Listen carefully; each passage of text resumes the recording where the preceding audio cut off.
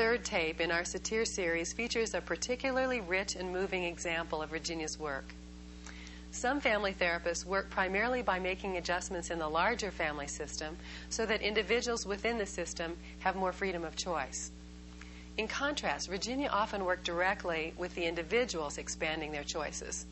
She frequently worked with one family member and then another in turn, always sensitive to the responses of others in the family. In this session, Virginia's focus on one individual, Linda, stands out very clearly. Virginia very quickly assists Linda in zeroing in on the long standing resentment and anger that she's felt towards her mother, and then uses a variety of interventions to move Linda to an experience of compassion, understanding, and forgiveness for her mother. At the same time, this allows Linda to feel better and stronger within herself. The session begins with Virginia asking participants how they respond to what she's just done on the previous videotape. I'd like to hear now from some other people here about what happened for you again uh, with this last section. Who somebody would like to share with me about that? What happened for you? Come.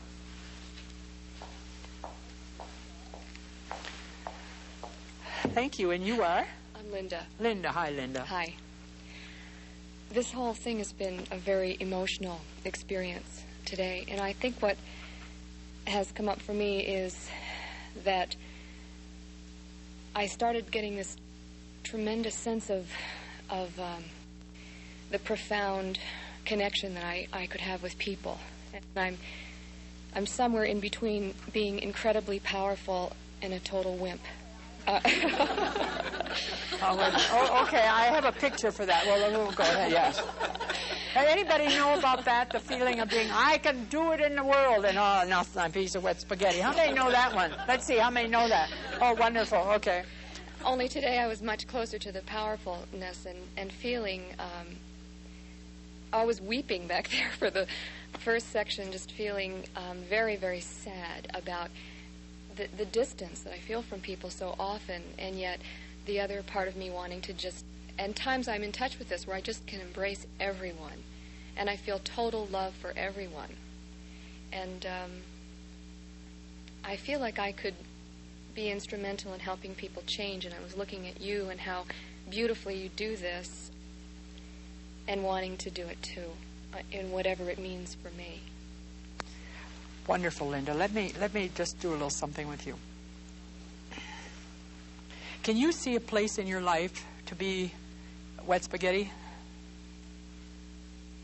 To be wet spaghetti? Mm-hmm. Yeah, yeah, I think I can. All right. What I'd like you to do is now look at the picture and seeing yourself as wet spaghetti, and let's see what what comes out of that for you. Because I got a little worried at first that you were going to get rid of that wet spaghetti thing. and then I thought you'd be right back where you got before you'd be, be skinny in one little old thing that you could do, and that's always be powerful. But let me see now about the, about the wet spaghetti. Okay. When can you see that just being... I see myself maybe lying on my couch with a bunch of friends, just feeling totally vulnerable and and having people nurture and take care of me. Okay. That's, how does that feel? I, I like it. That's good. Now, that would not be the way you would be if you wanted to carry a big bag of groceries, would it? No. No. All right, so what does this lead us to? This leads us to choice. To choice. That when I need to do this, I can pull this out of me. When I need to do this, I can pull this out of me. But if I've got a rule, I always have to be a certain way, then I can't do it. Now, I also want to ask you another question. Do you really think you can love everybody at the same time? At the same time? Yeah, or can you love anybody, everybody, period? I think that I can, I would like to get to a place where I can go beyond people's personalities, which may be ugly at a given moment, and just love them for the connection that we might have as, as human beings or that light that you were referring to or something. All right, what are you going to do with their nasty behavior? Well, I, I won't spend a lot of time around them. I'll make the choice of not hanging out with people that are nasty, but still, I don't want to have hate for them. I okay. want to love them for being a human being. This is such a central thing, and I want to elaborate it a little bit. Um, Oh, good. I'm glad you picked him. Well, I was reading your mind. You know, I'm reading your mind. And don't believe it, I wasn't reading your mind. Okay. Now, what I heard you say is, I don't want to go around with hate feelings. Right. I don't want to go around with hate feelings. Now, what you didn't say, but maybe is true, that you know hate erodes you. Mm-hmm. Because what hate does is it starts eating on you. How many of you know that? It starts eating on you. And it eats and it eats, and the more you hate, the more you want to kill the object of the hate. See, this, this runs a very interesting thing. Once you do a categorization, or you stereotype something, or you make a prejudicial uh, kind of, of thing, then that has to be the focus of hate. It has to be the focus of, especially the, uh, the prejudice bit, it has to be a focus of hate. Now, hate comes because you feel vulnerable. Because if you weren't doing what you're doing, wearing that mustache, for instance, you know, all mustached men have got very bad ideas in their mind. That's what a lot of people say. Anyway, so the, the, there comes the fear, and the hate is to cover up the impotence. And so when we put ourselves in the spot of where, our, where we have to feel impotent, we start to erode ourselves. We start to erode. All right. Now, you don't want to do that.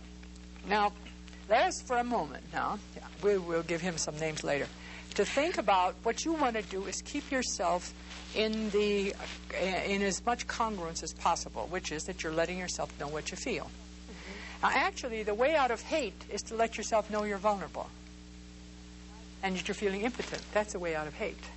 When I work, I do something regularly in San Francisco with the people who work under the streets and the sewers and all kinds of places like that, and there are many people of different colored skins, and there's much trouble with those people. So what I do is I help them to develop their and to discover their vulnerabilities, their fear of being loved, their fears, whatever they might be. And so the first step in dealing with the hate is to allow yourself to be in touch with your own vulnerability. Now, to not be in touch with your vulnerability before you felt was a protection. It is awful one over here. That mustache, you know, is, is hides a lot well, of awful it things. saved me. Well, it, in a way, yes, but not yet. In a way, misunderstood it, but that's all right. It Okay, saved you. right. Okay. All right. So, so then here you are, and um, you said something about saving. What hate did you use to save you? I didn't mean that the hate saved me. I meant protecting myself from being vulnerable saved me from what I perceived as um, things that would harm me in my in my family. Let's say. All right, now let's hold that a minute because now you're talking about something else. You're talking about your ability to see those things that would be harmful and for you to then move away or beyond or cope differently with it. That's a different thing because that opens you up to allowing yourself a whole lot of possibilities. I don't want I what I want on this concept is to be able to help people to see clearly that they always have choices. So let's make who is the ob- let's see who in your family. Father? Mother? Who was it that you or both or how? That I what? When you grew up that you, you wanted to protect yourself Mother. against. All right, well, you're in the wrong sex for that, but stay up here. Let's let's pick up somebody. Would you come and be the mother? Oh, what have I gotten myself into? Well, I can tell you that whenever you get yourself into something with me, what people report is that it ends wonderfully. Okay. So I will tell you that, and I know that's true. All right, now, I already have a picture, but I would like you to tell me how come, or what is the picture of her that uh, makes you feel vulnerable. I'm supposed to be picturing her as my mother. Yes, that's right, and give her. She. Um, say you to her; it'll help. okay, you you you cannot stand my joyfulness, and so you are constantly putting me down and picking on me. All right, now tell her. Let's have some dialogue. How does she pick on you? You're too skinny, Oh, too skinny. That's wonderful. That's a wonderful one. Is she heavy? chunky. Chunky. Okay, all right. Well, I understand that one. All right, now, what else does she say? She, uh, you, you always tell me that uh, I talk too loud and to calm down, keep it down. All right, okay, you do that. Okay, you talk too loud and you should keep it down. What else? You're too skinny. You should. Uh, you should Um, talk a little uh, softer. She doesn't tell you that though, but keep your voice down. Why don't you do something with your talent? You're so talented, you never do anything with your talent. What talents is she thinking about? Are they the same as you think? So, all right, you're not. You're wasting your talent, eh? Right. Oh, okay. What else? That's not enough. Well, as long as we're starting on this Okay. string, why don't we make a big one out of it? um, you're just like your father. Oh, wonderful. That's a great one. Now, what's wrong with your father that you're like him? He's Irish. Oh, I see. Oh, so and you're half Irish. So Right. tell her that she can only be half critical of you because one half is her. But nevertheless, okay. Well, but what else about your father? Um, ir- irresponsible. I mean, does that mean that he doesn't give her the money she wants, or he doesn't consult her, or They don't talk. They, don't talk. for They how did- many years have they not talked? Well, my father's passed away now, so they're really not talking. No. But um, for forty, forever, forty Well, years. now wait a minute. Now, just a minute here. How do you suppose they got? Would you please embrace each other? I would like you to see embracing each other. You're now 16 and 14. Embrace, please. Is that when they met? When they were very young? How old No, were they they? were older, 30, 30 uh, thir- mid thirties. All right, so they're mid 30s. But you you know that happened? That they embraced? Yes. I doubt it. Well, now wait a minute. Wait a minute. Did he? Did did did did your uh, her mother work with a marriage broker or what was this? They, I think they met in a, on a blind date. Well, you could, a lot of people meet on the blind date and you just meet and go right on by. These two didn't do that. I know How come? because she was lonely and he wanted somebody to save her. Save her Mm-hmm. or him? Uh, save him. Well, that sounds like par for the course. Okay. Um, all right. Uh, now, do you suppose that they might have met anybody else uh, that um, he would think she was lonely, but he could also have found some other people that were lonely, and um, she could have found somebody that uh, she wanted to keep her company? You suppose that ever happened? That they found some other people? Was this the only catch that they could make? That's a tough question. Um, I think that the timing was right, that they were both getting older and they felt that they better do something quick because it was going to get too late. Now, do you really believe that? No, I don't. All right, I don't either. I don't either. That, but that's the PR that goes Right, out, yes, right. because you didn't see what was going on then. What I can believe is they both shy, and I can see him as being in a family where he had to get all the other kids uh, educated or something before his father dying. I don't know what, but they had to put off marriage for some for some reason, and so they their gonad flapping wouldn't have been quite as obvious, but it had to be there. Mm-hmm. How many times did they do it? How many kids do they have? Three. Three. Well, that's pretty good. All right. So these these two people, when you saw them, you didn't see this. You didn't see what brought them together. Because my hunch is that they were both scared chickens. All right, would you put your arms like that? Yeah. Scared to death. I don't want to feel. I don't want to. I, I'm, I'm afraid of this happening or that happening. What do you know about her life growing up? Very difficult. What was difficult about? Now you talk to me. Um, a father that was domineering and perhaps abusive, and uh, So she'd been used to being slapped around. we're Italian immigrant, so there were there was lots of you need to behave a certain way so that people don't perceive you as being different or weird, and and um, lots of uh, she wasn't allowed to be with boys or date men, so that was often very difficult. If he even saw her in the same block with a man, she was punished and those kinds Did he beat her up? Um, it's it's hard to say, but probably. All right. There Okay. isn't that kind of communication, so I don't know for sure. All right. Now, what are you feeling? What are you feeling about um, what you're just saying about the kind of experiences that this lady had before she ever thought of being your mother? Before she ever thought of being feeling married? a lot of empathy. Okay. Now, I wonder if you can translate that even further into appreciation. Let me tell you what I have in mind. She's still trying. But what does she say to you? She says, in effect, to you, you need to be fat. Because if you're fat, you'll probably be healthy. That's one of the things that people thought in those days. What was one of the other things you gave me?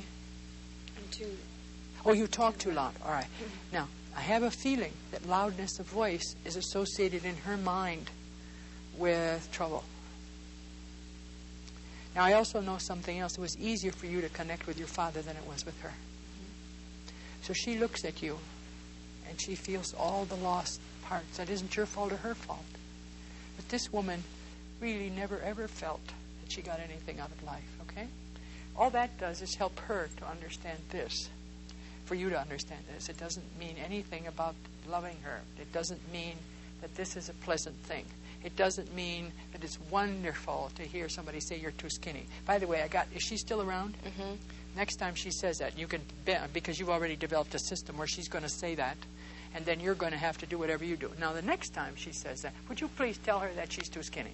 You're too skinny. Now, would you go up to her and thank her for noticing you? Take her hand and thank her for noticing you, and then say, "You know, I've been meaning to share with you before. I know I've often you've often noticed me like this, but I would just like to tell you how I feel about my body. But first, you thank her for noticing you, and then say you would like to share how you feel about your body, because I think she thinks you're going to die. You don't eat enough.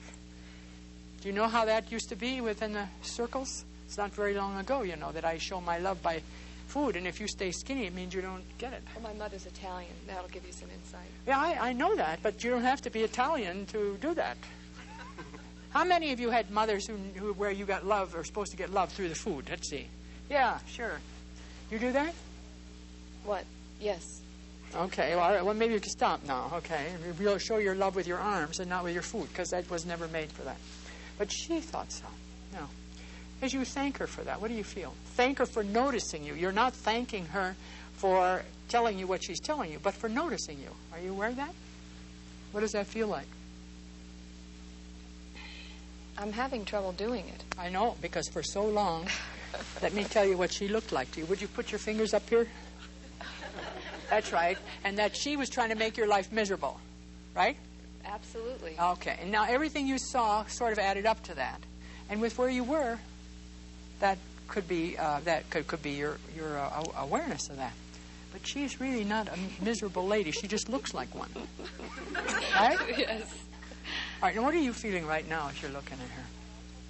She looks ridiculous. All right. So put your put your fingers down at this moment. What I'm asking you to do at this at this time. See, when you came up here, you said you feel power, and then you feel this wimpy business. Didn't you tell me that? Mm-hmm. I've got the right person and all that.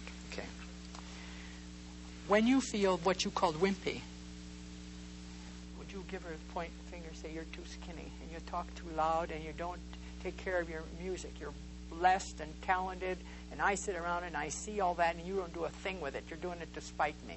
I, you know I want a concert pianist, or I don't know what it is. It doesn't matter because the same message will get through. So tell her all that. Uh, you're too skinny, and um, you're just sitting around not doing anything with all that talent, and that really is reflection on me. And um, I just want you to be more powerful and and to keep your voice down. And okay, so what did you do when you did that? How did you take what she was giving you? You put that down now. I, I felt this burning sensation in, in my in this center area, and I. I mean, I could just hear it's the same tape, Yeah. and so I, I just started felt myself closing down a little bit more, and then feeling that that anger, that where I have I I'm confused with what you're saying. When do I say to her, I don't want to hear that anymore? And when do I say, gee, thanks, mom, for for telling me and noticing how wonderful for you to notice that? When yes, that's that, the first step. That's the first step.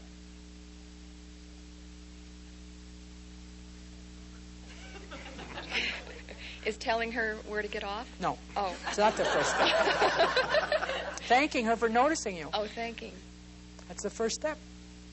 Now, what do you have to do to to thanking her for her for that taking that first step, thanking her for noticing you? It seems that I have to shift my perceptions from seeing that as a criticism and a, and a way of putting me down, and seeing that as, a, as her way of loving me. Well, it might not be that, but I think it is some of that. Now, do you have any kids? No, Do you have anybody close to you? I have a wonderful husband. All right, would you pick him out here? I want to see what you do with him. Any husband will do. Any husband will do. Yeah, well, yeah, sure. Okay. Now, tell me, how do you judge him? He's. How do I judge him? Yes, He's yes, what- Wonderful and kind and sensitive. Isn't there anything wrong with him? Yeah. All right, tell me what's wrong with him. Well, he's a little wimpy sometimes. All right, okay. so you're just a wimp. Let's do that one. Well, I'm going to exaggerate it. You're just a wimp. But What I don't do this to him. I know. You think it though. Well, no, we talk about. Okay, you're just a wimp. Why don't you?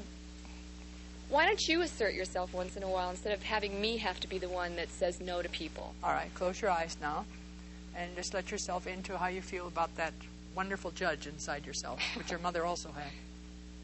I don't like it. Now I want you to keep your eyes closed and look at that judge. That judge is a possibility for you to take a look. The kind of judge you've got and the kind of judge your mother had were pretty hard on both of you. You know what I'm saying? Mm-hmm. Okay. Now, judges can let people go free. They can imprison them. They can also take what they see in front of them and give guidance. Now, what kind of a judge do you want for you? A guiding judge. All right, now open your eyes now and think I now have a guiding judge inside of me. Okay? Mm-hmm. Now, when you have that guiding judge, how can you use that guiding judge to be able to signal to your husband, like later you will signal to your mother, I hear you. I hear you, and let me share with you what happens for me when that happens. That's your guiding judge. Just let the words come out of this beautiful throat of yours and see what happens.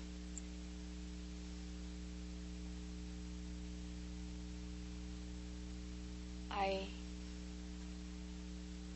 It would be helpful to me if sometimes you would assert yourself and be the person that says no to people on the telephone because it's real difficult for me to be in that role all the time. Okay, now close your eyes. And I want to ask you to ask yourself is it possible that you have ever um, done the same? Been a wimp, mean? Yeah. In your language.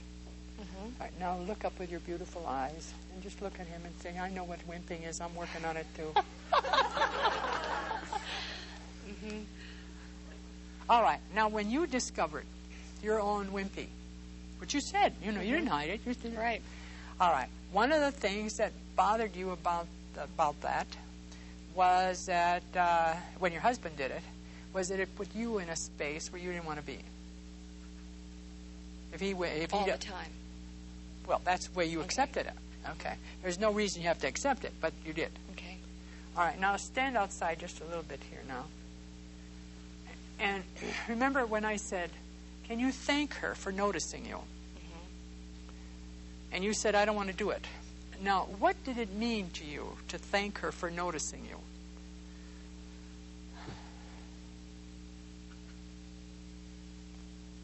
I think it meant that um,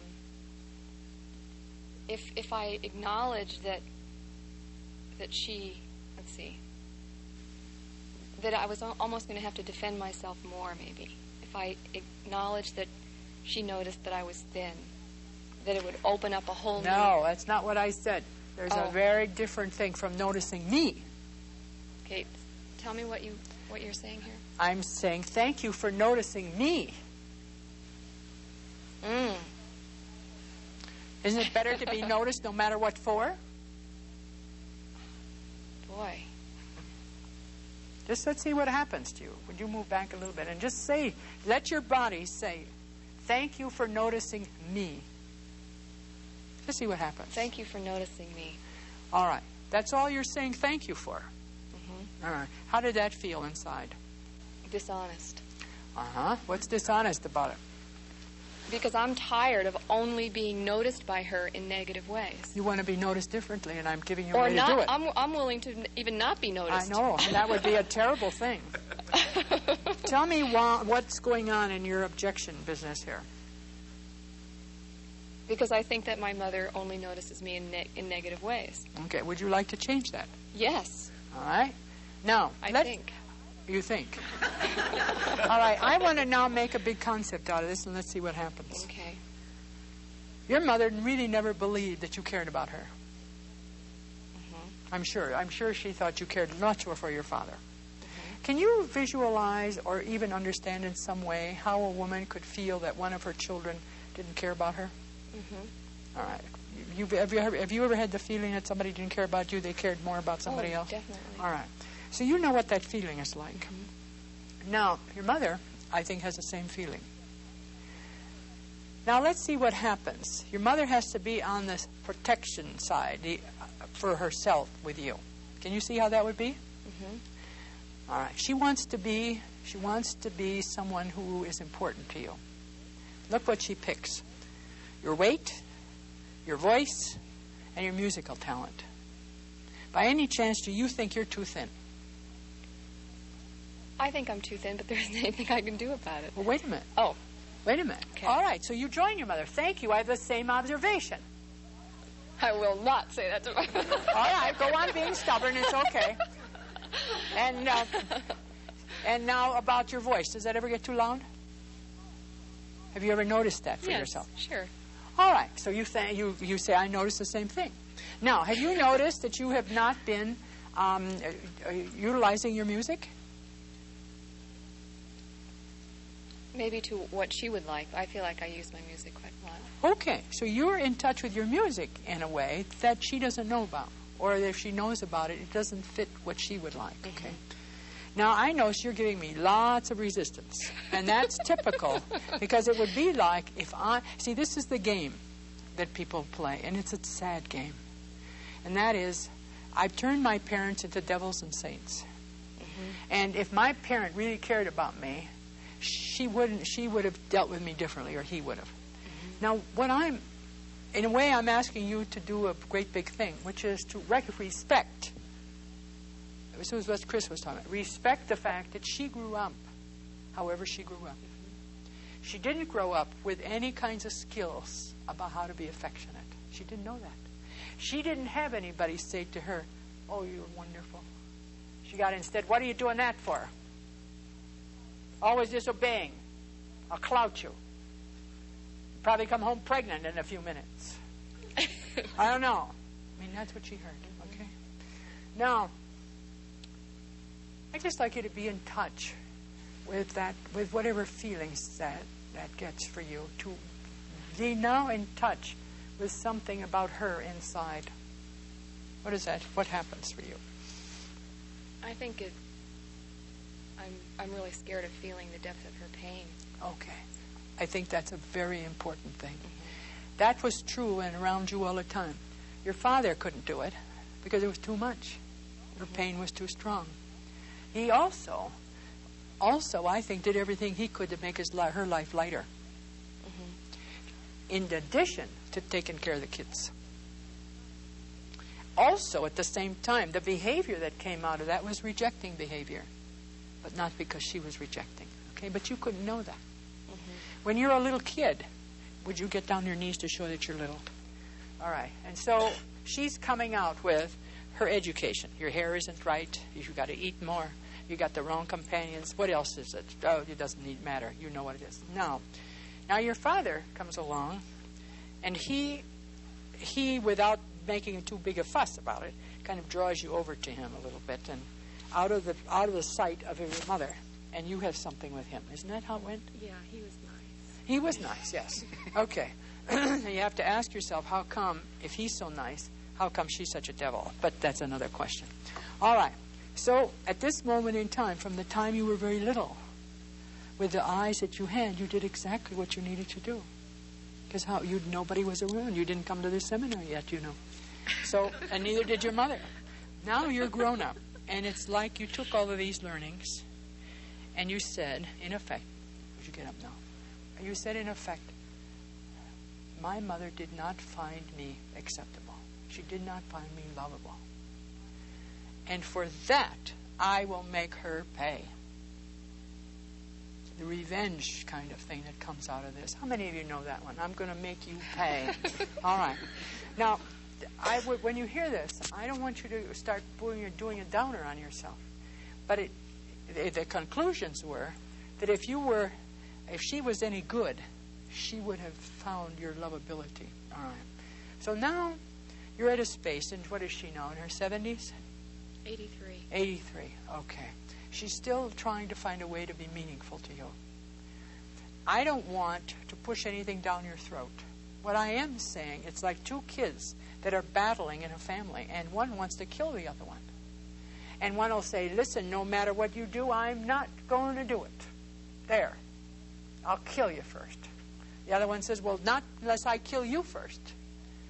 All right, what are we doing? We're talking about the, the vulnerability. And you still feel the feeling that she was rejecting you.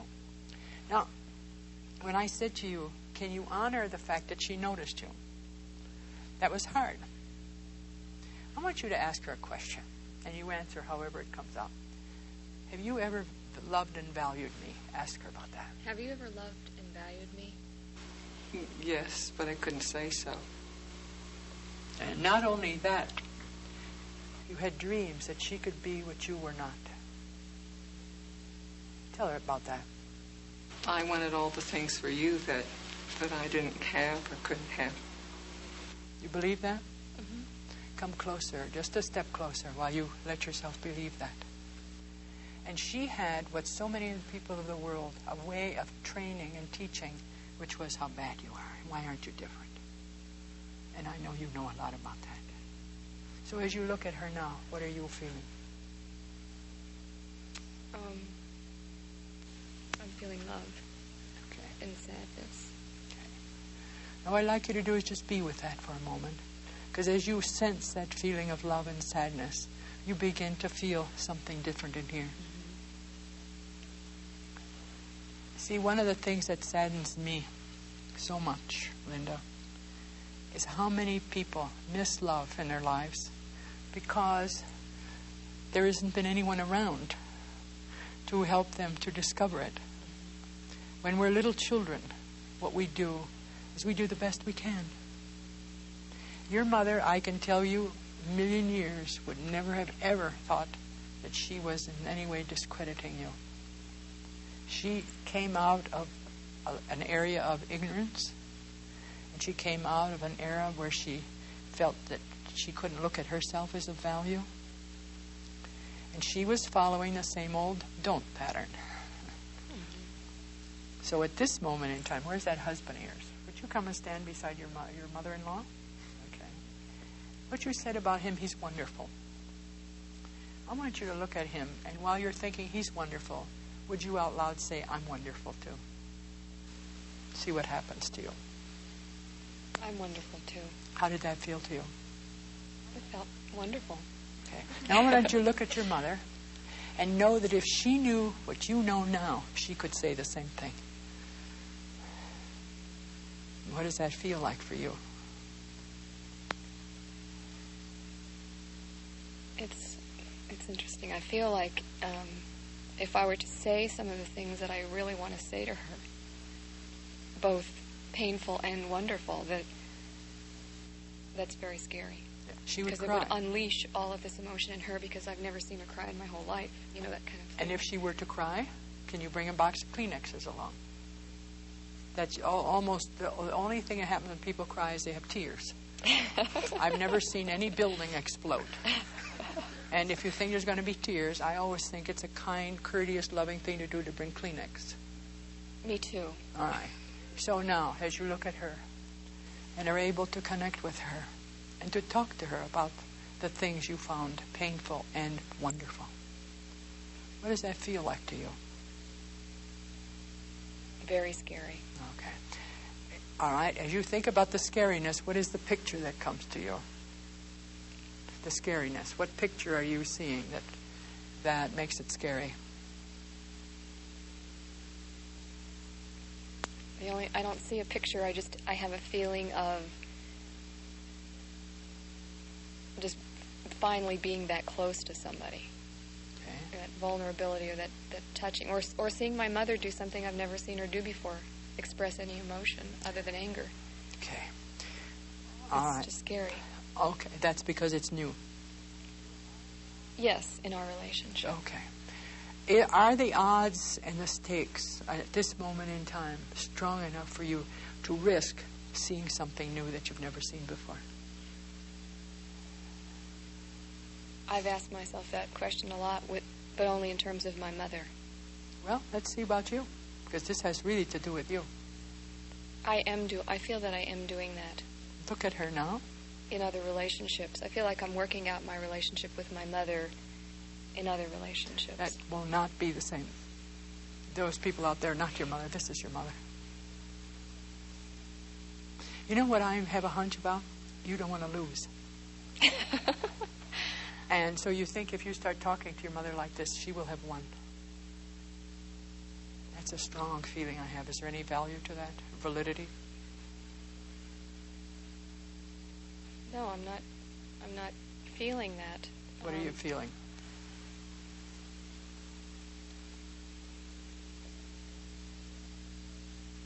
I think I'm afraid to come out of hiding with my mother. Okay. Would you start off? Let's do a little role play here and just see what happens. What I'm doing here is I am hoping that what Linda is so beautifully allowing herself to do, the content may not may be painful, but the process. We all have these things inside of ourselves, in one way or another, and the process of allowing ourselves to move in a different way is what's being manifest here. Remember where you came. You came from, I feel power sometimes and I feel wimpy sometimes. What I said, the wimpiness comes when you feel impotent. Okay? Mm-hmm. And what I gather in your mother, the impotence comes because you never really felt valued by her. Mm-hmm. Is what I get. Is that true? Yes, and Oh. it, it might be an oversimplification in the sense that Most things are, Okay. just like your attitude. Are you aware of that too? I mean, the feeling of that she's going to vaporize, or I don't know, you're going to vaporize, okay? Because this belongs to a time when you were very little and where you didn't have ways of looking at things. The yearning piece inside of you. Bring up your self worth. Let's see what your self worth is crying for. Now let's give somebody else a chance because she's self worthed out. Well, look around and find somebody. It's okay. Anybody can do, male or female or assorted.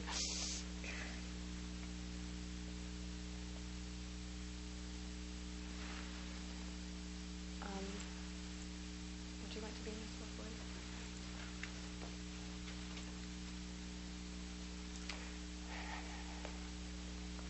But you get down behind, and I down below. And what I, the song I've been hearing from there, with what you're saying, is I want to be loved and valued by everybody.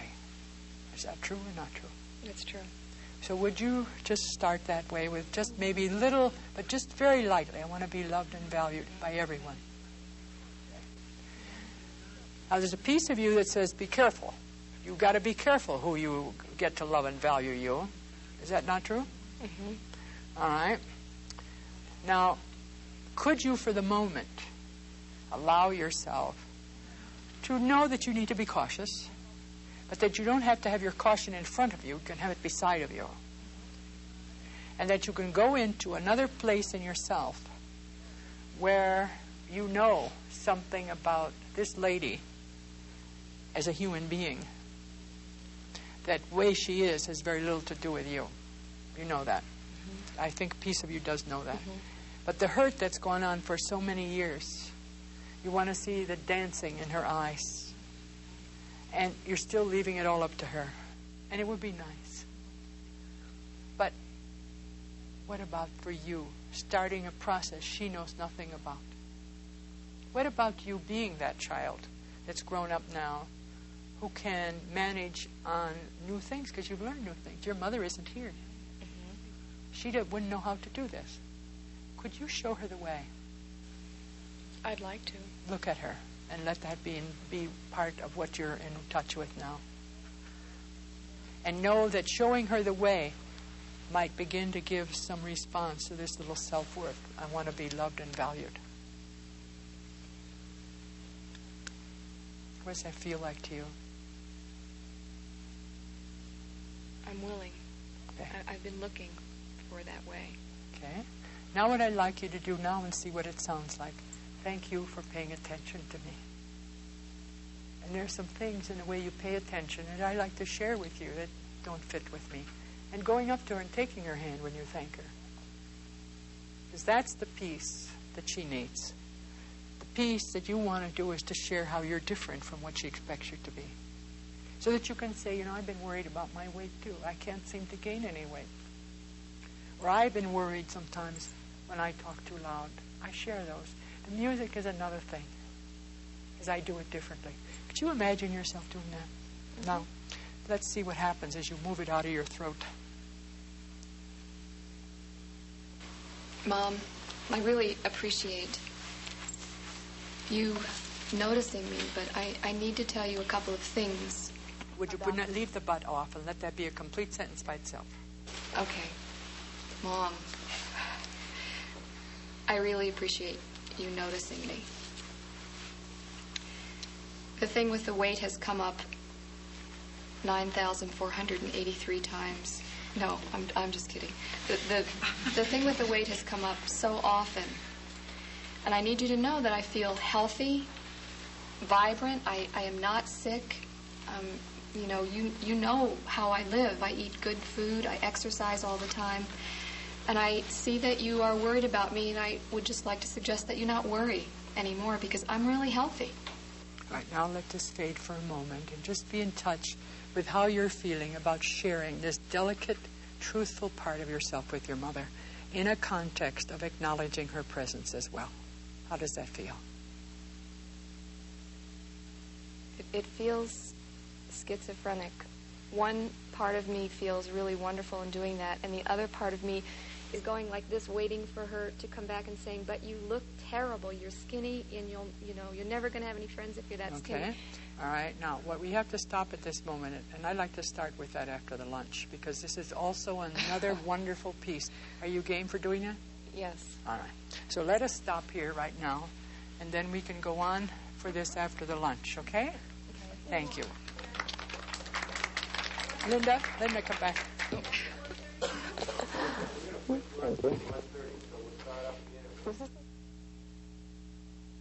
Uh, Linda, would you come back?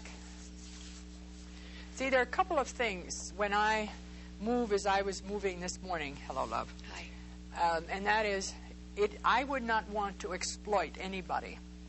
I don't want to leave anybody hanging. When we start something, the process of change is, a, is one that we need to move through with it.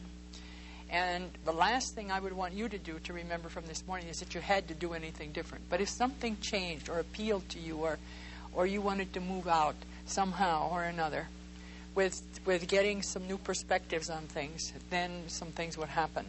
So I wondered what did happen for you after we left after you left the stage. I felt, um, I feel incomplete, um, lots of fear about whatever it is I'm trying to let go or transform into love or however you want to say it. Um, I, I felt spacey at some point, then I felt tired at other points, and then I felt weak kneed at other points, but I really want to finish it. Okay. Now, do you have in your mind an image of what finished means? When you have finished, how will you know you have finished? By the way, would your mother come and stand behind me? Where is she? There she is. Just stand behind me. And with your father, too. Find your husband. Just be behind there. Just behind me now while you talk to me about what would it look like when you were finished. This is a question a lot of people will ask.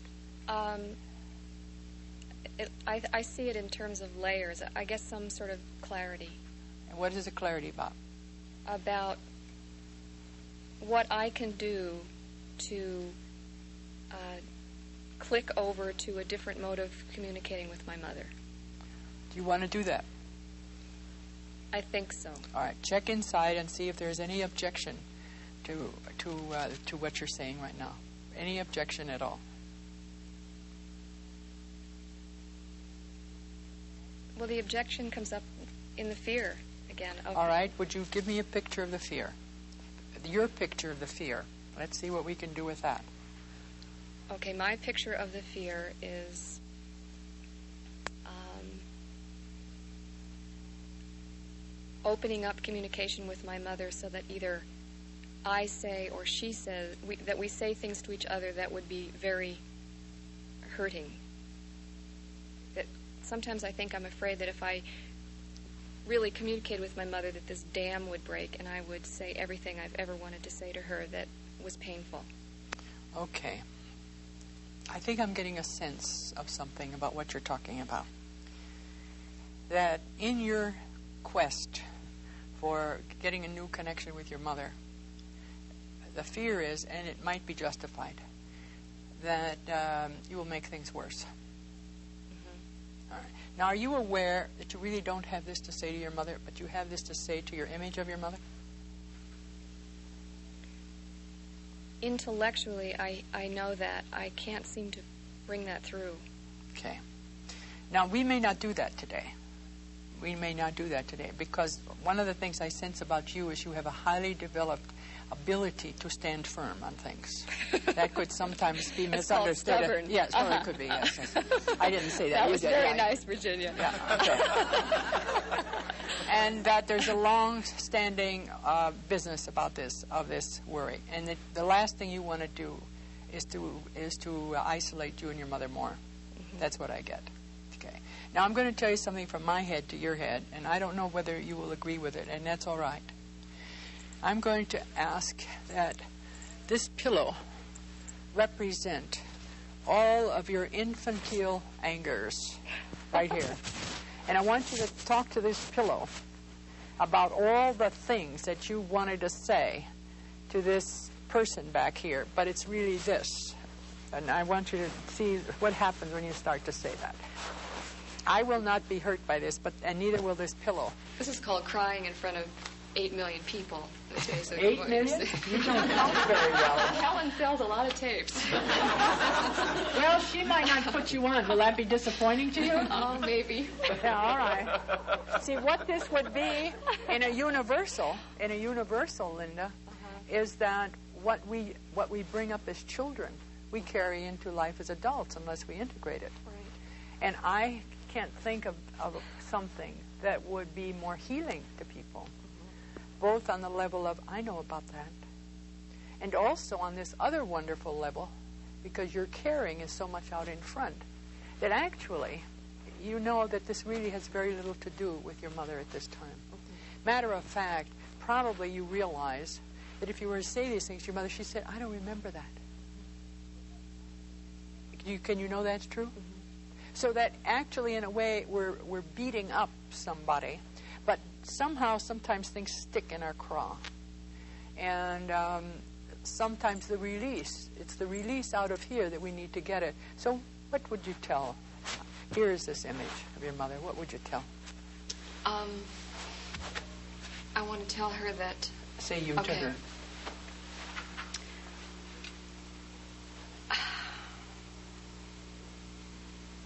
that you really hurt me.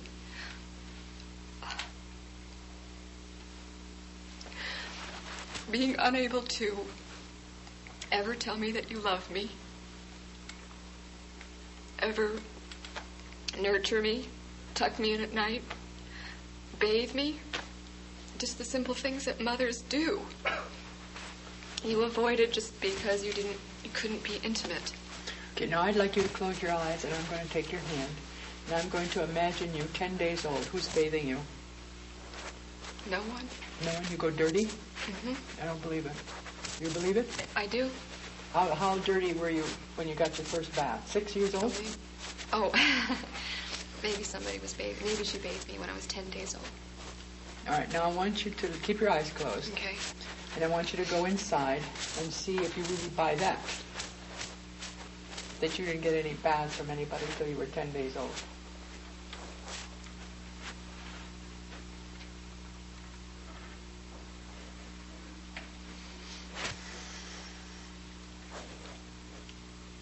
Possibly.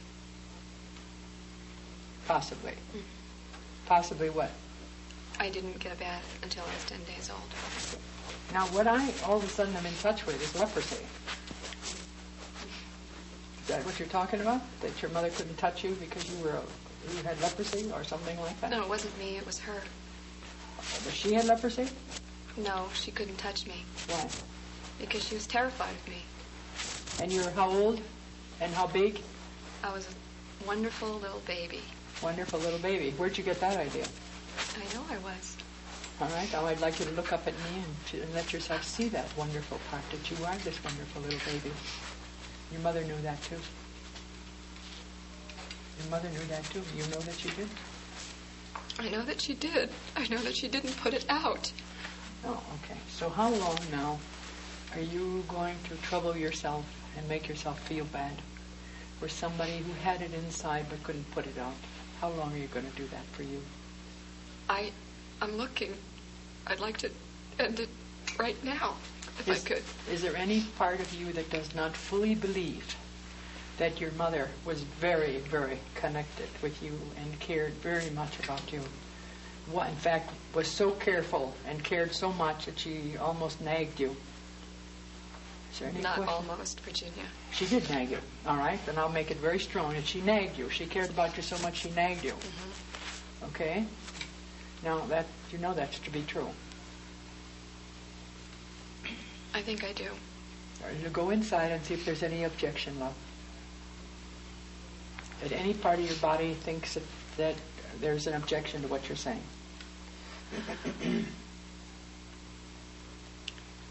There's some. There's something, but I don't know what it is.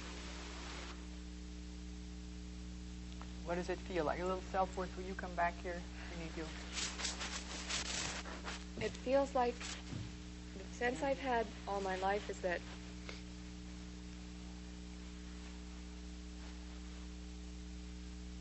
part of her loved me beyond belief and part of her wanted to destroy me. All right? Let's take that both parts. She loved you beyond belief. Right. What part of her was that part? I guess her heart and whatever a mother. Something very deep. Would you pick out your mother's heart, please, from the audience?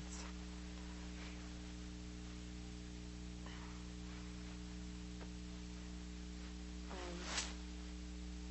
Bruce. All right. This is your mother's heart. Believe it or not. Yes, she has a wonderful heart. she does. All right, would you just be here? Now, what part of you uh, um, you think is your mother's destruction of you? What part of her? Mm-hmm.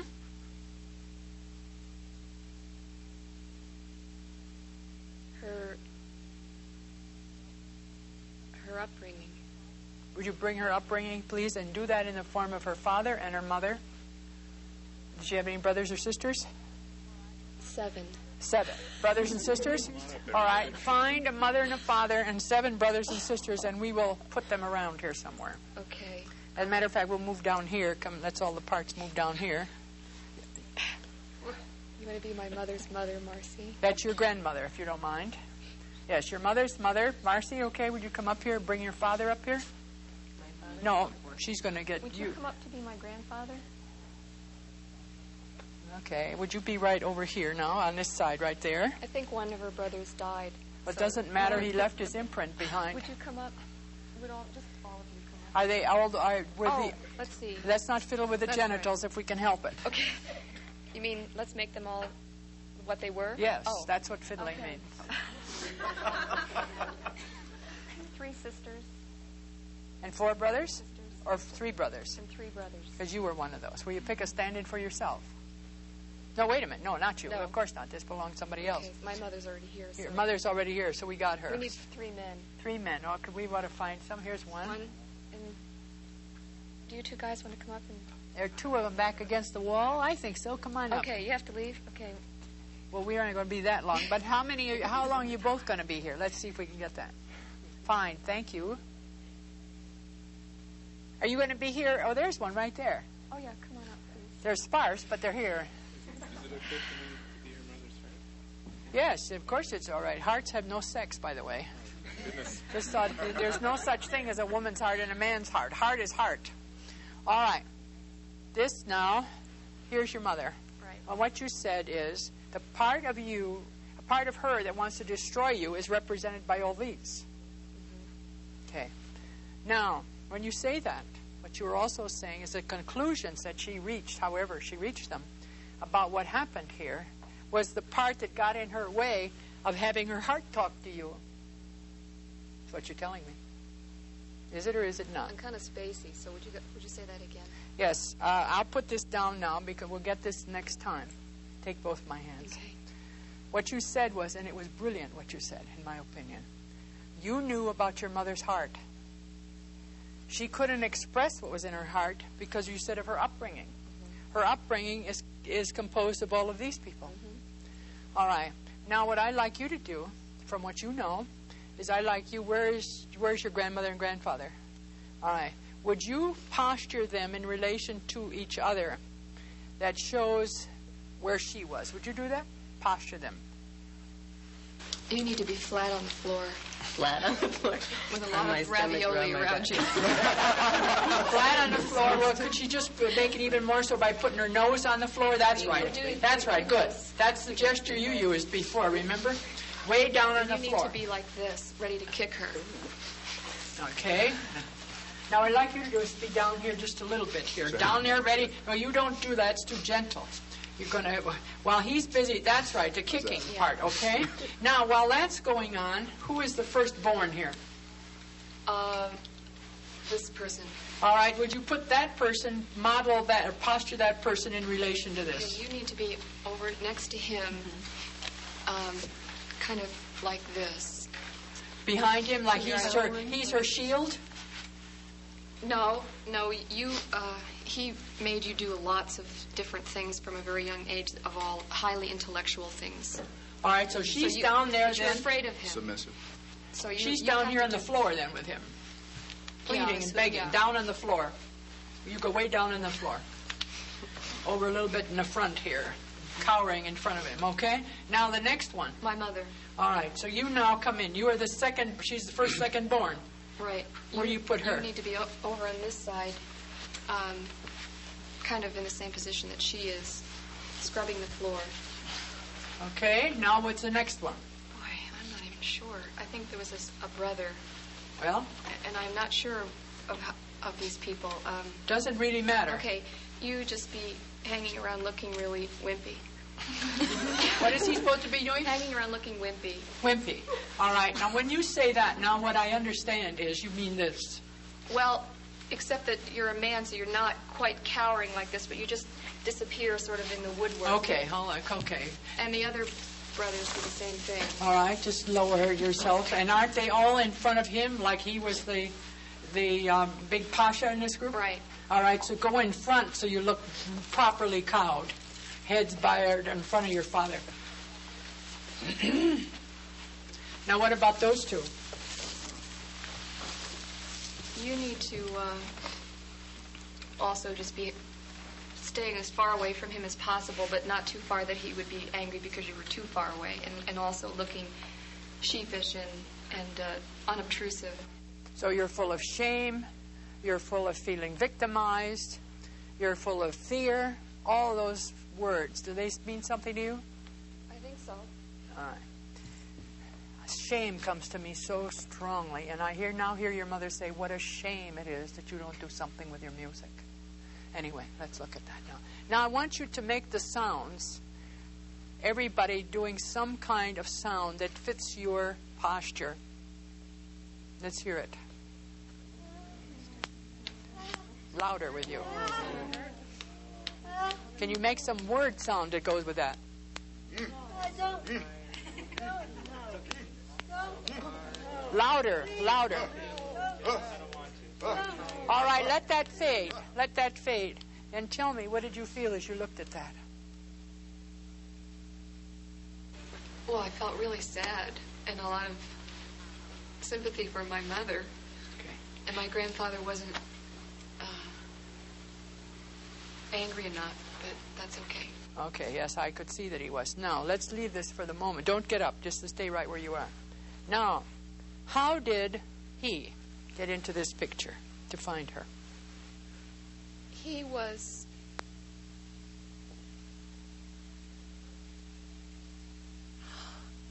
Um. He was funny What was funny? Okay. and sang a lot. Okay, all right. So he hid his pain under being funny and saying whatever else. But how did he get to know she was there? How did he even find out she was in the world? Well, I believe people are drawn to each other. Well, how did he do it? Did, did, did was he a friend of one of the brothers? Did he did they go to a dance? Uh, how did he find out she was in the world? I really don't know on this level. Make it up. Okay. Um, they were at a party together, and uh, they met at a party through mutual friends. And um, he was attracted to her because she was religious, a good Catholic, and very had a lot of moral integrity. All right. So he didn't expect her to fool around. He Right. Expected her to be an honest woman. And did that mother. did that mean that he came from a place where the woman was on the loose side? No, he his parents died when he was very young, and he was the youngest, and his next sibling was 20 years older, so he was kind of an alone. So who took care of him? His older brother and his wife. So and there probably was was for him nothing he could really put his hands No. to. Was that wife loose? His brother's wife? Was I- she I on the loose so. I side? doubt it. Well, somebody was loose in this family. I'll tell you that. He was. He was very loose and very promiscuous and wild and crazy kind of guy. Okay, all right, okay. So now he finds her. Now I'd just like you for a moment to just think in terms of how people are. He's wild and loose, and she is very, very uh, strong and looks like she's full of integrity. Right. Can you imagine that he would find that a support for him, Oh, definitely. and that she would depend on him to bring light into her life? Right. All right. So what I'd like you to do is sing in your best voice and be as funny as you can, and go in there and rescue her. Just rescue her and take her in your arms. Just do that. Let's see it happen, because that's what you do.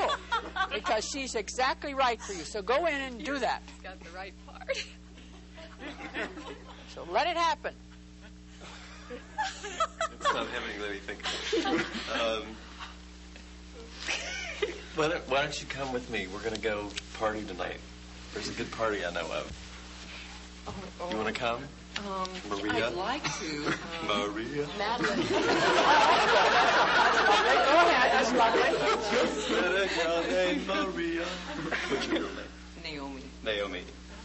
All right. Okay. Now you can all fade for the moment. Just fade a little bit. Now I want you to look at those two for the minute. Okay. And what do you feel now as you look at them? They're cute. I'd like you to keep that picture because that's exactly there. What he didn't know about her was that that rigidity would be over everything, mm-hmm. way beyond her her maturity or her integrity, and his funniness would go against her feeling mm-hmm. That there was could be any order at all. And so he's he what was used as a way to get together became a, a yoke around their necks. Mm-hmm.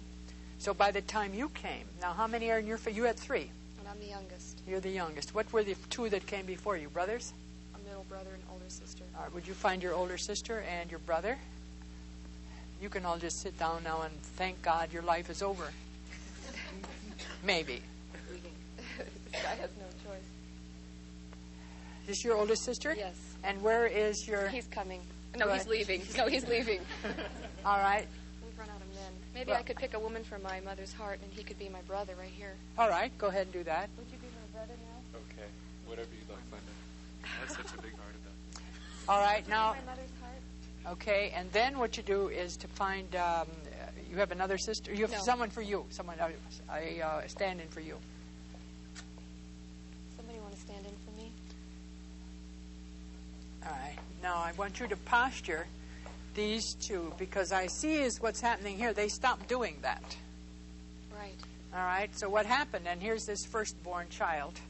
My hunch is that your mother went like this after a while and started moving off. Don't fall off of there. I don't want you to do that. Mother would be like this, but with her back turned. All right. Okay. You That's over by my dad holding his hand. all right. All right. Okay. And facing your mother's back, but probably not facing it at all. More facing your father. And now, what about your brother? Where does he come? You are um, off to the side of both of them quite a, quite a ways, and um, you're shuffling your feet and looking down at your feet. Okay. Over here? Yeah, but uh, well, you're back to them. It's kind of what are you doing in this world? And I don't know what wimpy is what you would say that behavior was, right? Got pretty angry, sullen, sullen with yeah, that. Yeah, just look like a rain cloud. Sullen. Now for you, put yourself in there. I.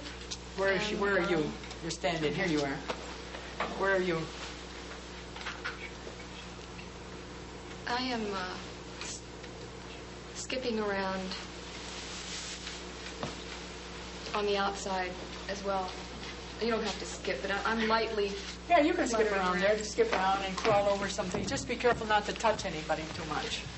All right. And you be careful that you aren't all around here either. Okay. All right, when you look at that now, what do you feel? Sad. Okay. This wasn't always this way, but it was this way when you knew it. Okay? Now, what happened to him? He was kind of beaten down by my father because he wasn't coming through with what my father's dreams of himself were. And he was really distorted by my mother. And what you're talking about, if I were to meet him today, one of the things that I would see that he would be very shy and not want to put himself forward. He's an alcoholic and he's very Yeah, kind of withdrawn. And so that he would have to do something like this. So that you're alcoholic today. That doesn't mean you aren't bright or nice. It means that when the pain comes, you drowned it. And what happened to your uh, sister, your older sister? She ran away and then became a mother and then ran away from that and became a hippie and now she's born again. Okay, so what she did, so we just see you running out, then you run back, then you run out again and run back. So if you don't mind doing that, you can do that. And you? You, um, That's me you're talking about. right, you hung in there and um, tried to make everybody happy. Okay. Did you succeed, even a little bit? Oh, yeah. I want you to be in touch with that. Okay. What are you feeling right now as you're letting yourself know that?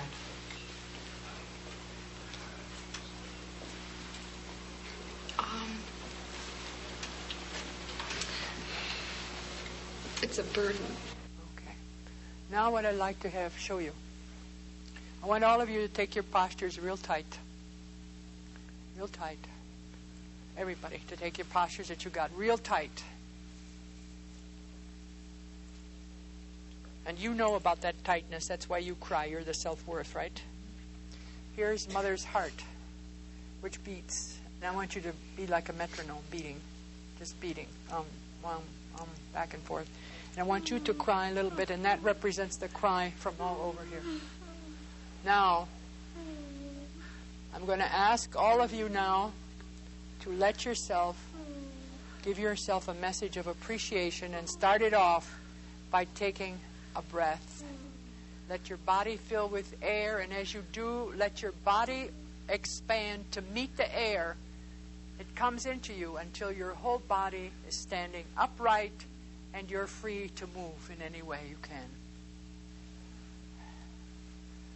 Let that all happen. Letting and testing your moving back and forth. Now, when you get on your own feet, look around, and as you see people, do what you want to do with them.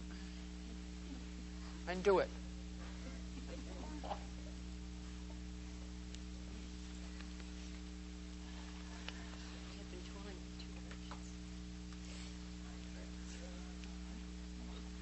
Now, what I want to find out from you, Linda, is what did you see here? He was transformed into love. Yes. And you know how it happened? No. What did I say? I'm going to I'm going to act like a school teacher for a minute. What did I do? What in, what directions did I give to make this change? You asked them to breathe. Yes. And then I'm not sure I was listening. okay. I'm glad you're telling me that because it's very important. When I asked them to breathe, then I asked them to let their bodies expand to meet the breath that was going on. Now, do you remember that you heard it? Vaguely. Okay, and that's all right because you were bo- you were involved with other things. Then I said, "Now do what fits for you, standing on your own feet." And did you notice what they did? What did you see them do?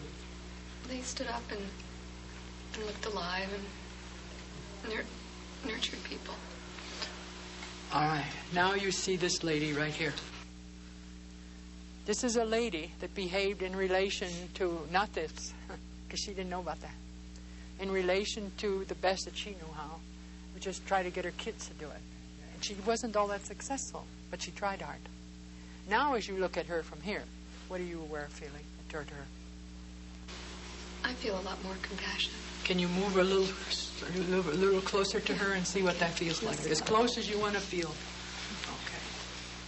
And let yourself be in touch as you're here now.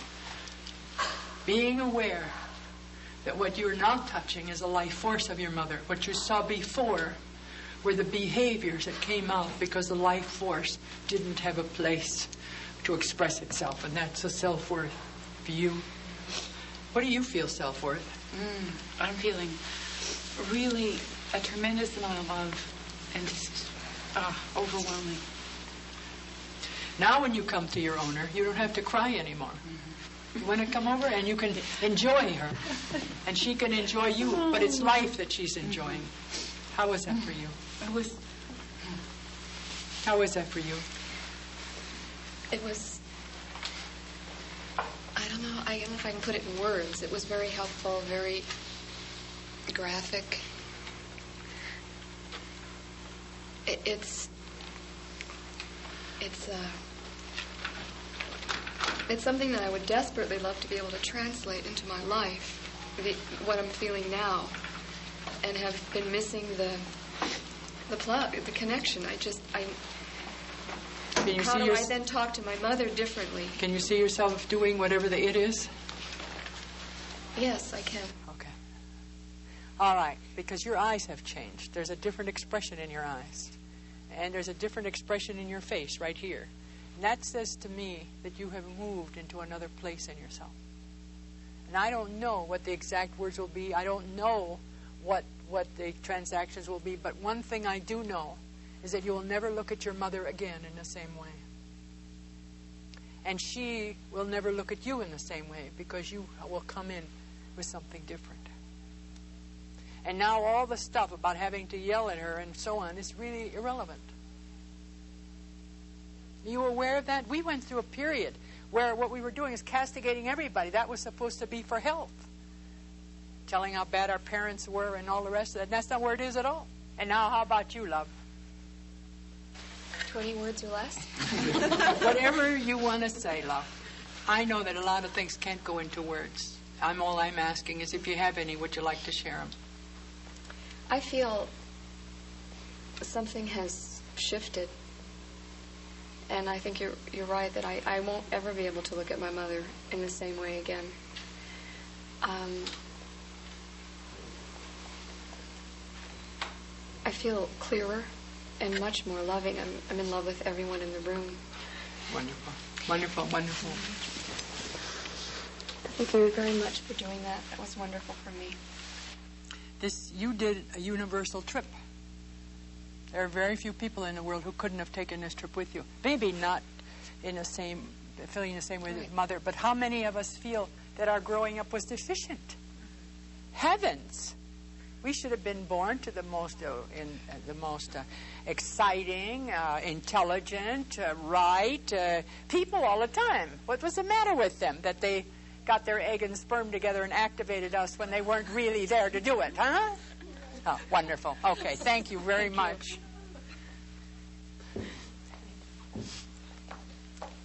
I've spoken to you about the fact that I've been working with families for over 40 years, and um, I see a lot of things. Everything that I strive for, you just saw. Virginia often stressed the importance of warmth and understanding, which is particularly evident in this session. Her work also had a definite structure and precision that allowed her to go far beyond just friendship and holding hands. Both Virginia's compassion and her precision made her successful in opening new possibilities for Linda and for others.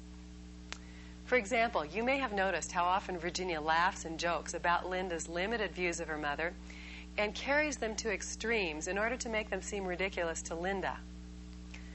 Most of Virginia's work here has the overall goal of getting Linda to experience what it must have been like to be her mother. When Linda finally does this, she experiences the compassion that releases her old resentments. We are fortunate to have a follow up interview with Linda from about three years later. Linda, now that it's uh, about three years since your session with Virginia, we're interested to find out what your perspective is now on the impact that that's had on your experience. Well, it was interesting. Um, it's been something that I haven't been able to forget, and um, and have talked about with friends. In fact, I have laughed about with friends, especially some of the friends that were there in the audience with me, or who, people who have become friends, and um, you know, the person that was my heart uh, in that tape, and the person that was my mother in that tape, or my my father, um, where we actually wound up having discussions about that episode and being that vulnerable and um, I've, I've it's affected I think my relationship with my mother and it's also affected my work and and even when I notice the way parents talk to their children and I'm aware of how wonderful the gems were that that she had yeah Uh huh. So it sounds like it's had a fairly broad impact in a oh lot of areas. I'll never forget it And um, if we could go into some of the areas, how how has it been different with your mother, or what's happened there? Well, I think that um, I did a lot of thinking after that session happened because I spent what an hour or an hour and a half having to to in front of what I felt at the time was the world talk about my mother and my relationship and um, I felt real upset and tearful and and I I came away I think with a whole lot more compassion about my mother and what she's been through in her life and um, it's changed my position and how I look at her and how I feel about her. So, do you do things differently with her now than you would have? Yeah. Or- Oh, yeah. I um, I look at her differently. I've I've had occasions, lots of occasions, where um, I've been sitting across the table from my mom and nobody else is in the house, and I will ask her things about her life. Uh, how did her parents treat her? Um, in fact, she she said to me, "Well, I think that my father would have been arrested for child abuse today if if he had done things today to me that that he did um, 50 or well, my mother's old enough to be my grandmother, so we really skipped a generation. Uh, she had me when she was 44, so there there was a big generation gap there, and um, I've gotten a lot of insights into how she was raised and why she was so critical of me because of some of the things that happened to her. And she opened her heart to me in lots of ways. In fact, I felt like I was her best friend, which was really something I would never ever have said before. But having listened to Virginia and watched her work with some of the other people that were there, I pulled some of those techniques and and just incorporated them in my relationship with my mother.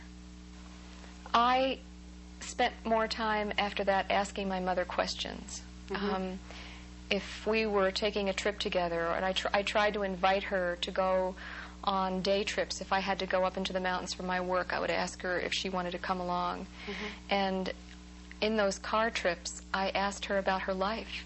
Mm-hmm. How what was your dad like to you? And if you wanted, if you chose to have kids all over again, would would you do that? And I really tried to listen to the answers that she gave, and I, I started recognizing. I mean, this sounds kind of weird, but I, I said to myself, "Boy, Linda, if you think you had had it bad having her as a mother." Imagine what it was like for her having them as her parents because she had mm-hmm. some tough mm-hmm. parents. Yeah. She yeah. had, you know, Italian immigrant parents who were very hard on her. So I just started personalizing, I guess, my mm-hmm. relationship with her more. Mm-hmm. Mm-hmm. Great. So it sounds like that's been a lot more positive for you. Yes. Oh, it has definitely. Probably for her too. I would think so, although I don't get that feedback from her because she's not a person that shares that kind of stuff. But I definitely think just because she did open up to me that she feels that way too. But I had to make the change. You see, it wasn't for a long Yeah. time. I think I waited for my mother to to change. Why does she do this and why does she do that? And what one of the things that came out of working with Virginia was it was it's my work and I'm the one that needs to shift my position or or try something else. Yeah. Well, that's a big shift. Yeah, it is. Good. Um, and you mentioned also that it's had an impact in some other areas of your life. Uh, can you say a little bit more about that? If it's shifted your way of Mm-hmm. being in some other areas too. My work is, is as a teacher. I, I have my own consulting business and I teach workshops to adults and parents and uh, community members. And, and most recently, in the past couple of years, I've shifted to youth leadership trainings where I will work with teenagers, high school kids, who will talk to me about their parents. And high school kids typically are complaining about their parents. And they are talking about how their parents don't listen to them or they're never validated or all their parents do is pick on the things that they don't do well and not say to them how much they care about them or why they appreciate them being in their lives. And and I've seen myself do some Virginia Satir tricks where I will say to them, you know, you might be the one that needs to tell your mom first that you're glad she's your mom. Mm-hmm. If you're waiting for your mom to tell you, she may not be the one to do that. You may have to say, you know, mom, I know you really do sacrifice mm-hmm. a lot for us, and I really appreciate it, and that kind of stuff. And Huh. So you're passing on Yeah. your learnings to, Yeah. to others too. Great. Thinking back on it now, do you, are there any other comments that you have about um, your experience there? Um, I can't get the, the image that sticks out in my mind the most, other than seeing this imposing, powerful woman next to me in her flowered dress. You know, um, was the image I have of her working with the mother and the and the little child. Um, bringing the little child up on a chair so that the two were looking eye to eye. And I, I don't know why that was so profound for me, but um, it, it symbolized to me how important it is to really look eye to eye. I mean, with my own internal little girl, uh, you know, in that process, as well as um, maybe it's the old Indian saying of walk a mile in the other person's moccasins. That was profound to me, and the whole experience of being that open and pouring out that part of me was something I'll never forget. And the way that she treated people is is a message that I just take wherever I go. That respect and uh, dignity that she tried to create between people that in my work with teenagers they are perceived as powerless. Mm-hmm. And um, the adults have all the power. And I, my work a lot is, is having teams of young people and adults come together to work in partnership. Mm-hmm. And the adults either usually take over, and the teenagers are always trying to get a word in edgewise. Mm-hmm. And using some of those Virginia Satir things to have people be more on an equal basis is another thing I've taken from that experience. Great. That sounds good too. Yeah. Well, I want to thank you for coming back and letting us know the impact for you. And I'm guessing some of those similar impacts will be going with a lot of the people who view this tape. Well, I am curious about um, whether you were surprised to actually work with Virginia that much on stage, or if that's if that was something that you like to do a lot in workshops.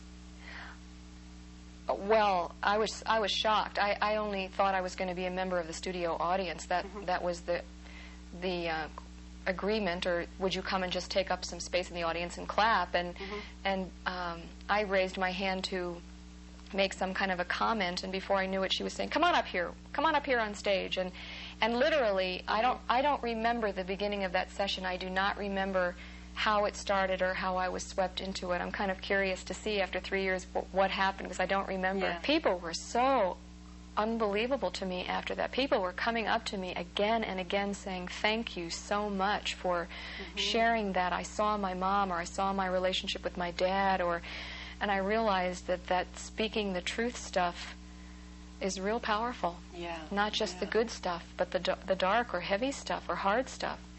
Mm-hmm, mm-hmm. And I think a lot of other people will have the opportunity to do that through Yeah. the videotapes. Yeah. Well, thank you again. You're welcome. Thank you. Yeah.